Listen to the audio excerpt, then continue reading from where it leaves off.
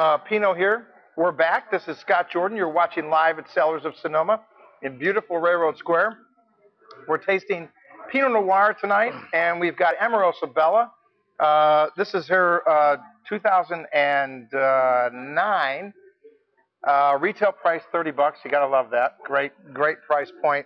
Um, beautiful fruit. Beautiful color, nice. Nose. Nice, nose. right? Nice nose, good finish. Classic um, Russian River Pinot right? Noir. All day long.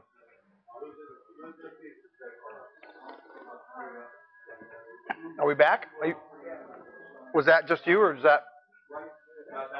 Oh, the video went off. Is it back up? Okay, go ahead. Fire away with another question.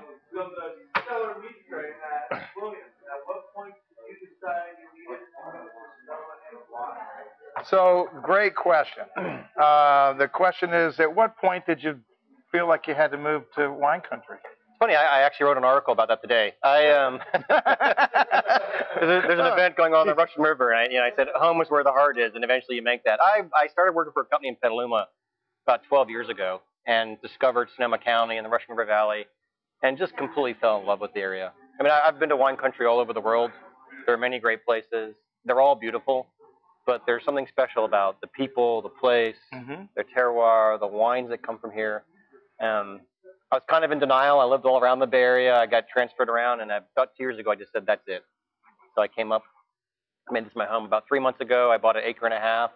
I've got a farm, planting a vineyard, and this is it. I'm finally, the gypsy has put roots, like the gypsy has put roots down. That's From good gypsy though. to farmer. I mean, you know, yeah, you can go anywhere you want in the in the country or in the world. It's hard to beat what Sonoma County has to offer. I mean, it, I mean, you've got San Francisco, you know, within an hour. You got the ocean within 30, 40 minutes. Wine country in 10 seconds. Uh, Redwood Forest uh, right behind that. I mean, it doesn't Marin get. County. And, It, it's pretty damn. and Sonoma County beat. itself is incredibly diverse. People say I'm coming to Sonoma. I'm like, that's, you know, 13 AVAs and a big, you know, a big stretch of territory. You need a couple of weeks to see it properly from Yeah, from yeah. end to end. And So- soon we're going to get the uh, the train that's going to come from Larkspur all the way up to Cloverdale. I tell you what, those of you from other parts of the country, you'll be able to literally take a ferry over to the ferry building in Larkspur, then get on the train and be in wine country. How bad is that? That's amazing. You can't do that anywhere. I don't care where you go. You can go anywhere Yeah, you it's, it's, to me, it's phenomenal. You have a world class city like San Francisco, yeah, just over an hour away, and you could be driving around. I mean, you go in the back roads of Russian River Valley, you think you were in the middle of nowhere, yeah, you know, yeah. and then be in San Francisco watching a Giants game in an hour and a half. Yeah, you really could. You really Pretty could. amazing. So this is uh, Denaz. This is uh, again uh, San Giacomo Vineyard, very famous vineyard. Oh, Uh, very always nose. That, that nose is just, you know, eucalyptus. It just jumps right out. Mm. Mm. Beautiful Wow. finish. Winemaker here is Greg LaFollette. A little shout out to Greg. Um, I first met Greg when I uh, ran Deloach Winery, and he was the winemaker for them and consultant. And uh, then when we brought Dana in, it was kind of interesting because we, I, I, we were literally on the tasting panel just tasting our wines because that's how we, you know, Yeah. determine if they want them in the room. And I spun the bottle around and I saw his name. I go, oh my God. I didn't I- realize. I mean, he's yeah. a he's a legend in Pinot Noir. Oh, I, I until you just said that, I had Oh, and yeah. I've had this before. I had no yeah, idea. yeah, he's a rock star. Another question. Okay. Seller meat tray is asking, I need a personal tour guide for Russian River. Oh.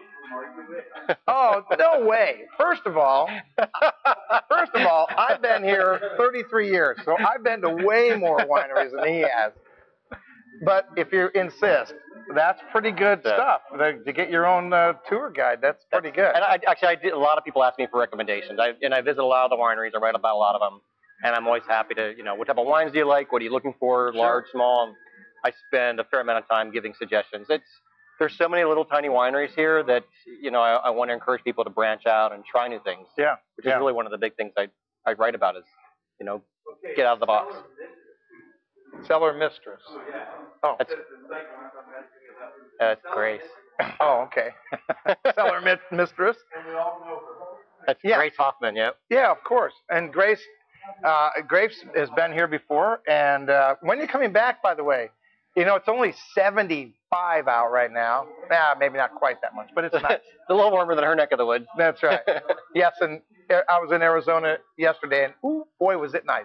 She'll be back in July. In July. All right. All well, you have to make sure you contact us. Let us know in, in advance. Um, we'd love to hook you up. There's just some really cool places uh, that you just you just don't see. now. And I see new stuff all the time.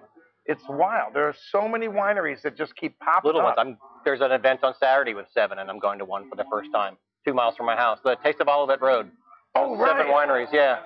So Yes. uh, Tara Bella is a Cabernet producer. I've, you know, they're, literally like to throw a rock and hit hit them, and I, I had never been before. Yeah, I love their I love their little Mm-hmm. ad. Um, th- that was a cute ad. I don't know if you saw the ad they have. Uh, in, I think it was in the PD, um, and and it was uh, you know had the the shoes from Yeah. Wizard of Oz. They're doing the, the follow the yellow brick follow road. it, yeah. follow the Olivet Road. Well, you know when we we worked and I ran uh, Deloach, we tried to put that exact thing together for the longest time. It was like herding cats. I couldn't get everybody on board, but they were ready to go. That, yeah. But those are some cool wineries. And Del- and Deloach is part of this. time. Yeah, Deloach is and Hook and Ladder, right? Hook and Ladder, Inman Family Winery, um, Harvest Moon. Harvest Moon, is uh, Pellegrini in in- that? Pellegrini, and Inspiration, Okay. and Tara Bella. So oh, the seven. inspiration. Oh, John's gonna open up his his house over there. Well, he's he's, hap- he's having to put it over in his his new one at at, uh, uh, at Coffee Lane. Oh, is that right? Because of the permit for the food, but oh, but he's got still it. participating. Well, that's that's a cool event. Uh, tickets on that, uh, they can get that online. Online, actually, I just put up. A, I have a actually have a blog article today with Mm-hmm. contests for pair of tickets. If you, you go online and send comments, uh, and Thursday night we're also going to give away a pair of tickets, Oh, nice. or you can buy them online for uh, I think twenty five dollars in advance.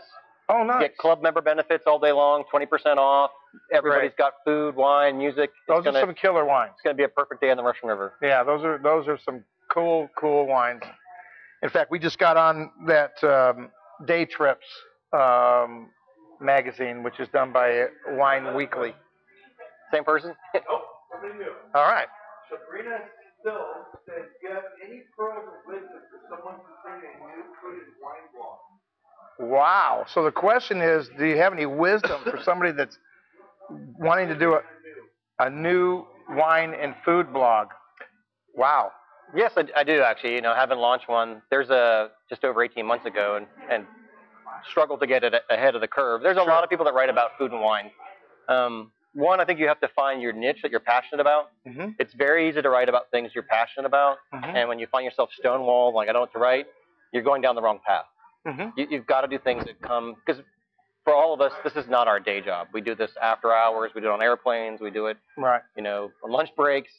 So you're giving up your personal time to do this, and you need to pursue what's passionate. Um, second, commit to social media. I mean, I've you know I've done all my marketing through social media. Mhm. You know, the blog has now got seven, eight thousand readers a month, three hundred thousand hits. But I was very persistent. You can't give up. You've got to always be, you know, putting your brand out there, Mhm. marketing it, using Facebook, using Twitter, talking to people, Right. networking, and just be passionate about what you do, and that will come out, and people will naturally want to be a part of it. So the person that asked that question, um, tell us uh, if you're in wine country, um, and and if you and if you are uh, in in this area here, this region here, stop into Cellars of Sonoma, and uh, you know we'll be happy to share stories. Those are things that you can write about. Lots of lots of fun stuff. And I think writing easy. writing about food is brilliant. I mean, the thing about discovered about writing about wine, which is my passion, is it's a much smaller audience. You know, food and wine paired together Yeah. is is much less intimidating to people. Yeah. Um, and, and a much broader audience. So I, I think it's a it's a brilliant focus. Yeah, and if you want if you want to write about uh, an interesting food pairing, our our friend Bacon Girl, um, she I interviewed her and she's she paired up bacon with all these wines. It was amazing. Talk about a food and wine pairing. That's awesome. Bacon Yeah. goes with everything. She's the best, man. I'm telling And you. you know, I'll offer too if you're passionate. I have guest writers on my blog all the time. You know, the good news is you'll get your you know you'll get your article out in front of seven eight thousand people. If uh, you're passionate about something, you want to take a little stab at it. You know, contact me. I'm happy to let you guest write about it. That's cool. Well, there you go. You're already a member. That's perfect. Come on down and and we'll be happy to uh, uh, work with you. No problem at all. Andrew, do we have to take a, a break? All right, we're going to take a break. We're not going anywhere. We're just going to stop our recording.